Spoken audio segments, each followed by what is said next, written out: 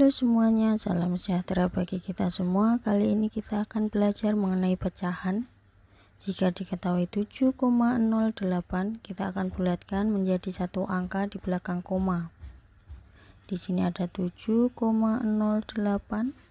Jika kita hanya ingin satu angka saja di belakang koma, yang perlu kita perhatikan adalah angka kedua di belakang koma.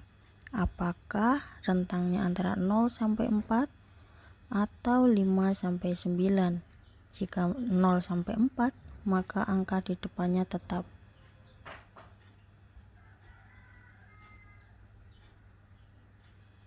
Namun jika rentangnya 5 sampai 9, maka dapat menambah satu angka di depannya.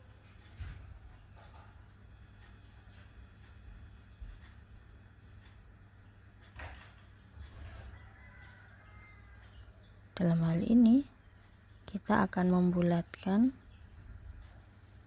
7,08 dengan angka kedua di belakang koma yaitu 8.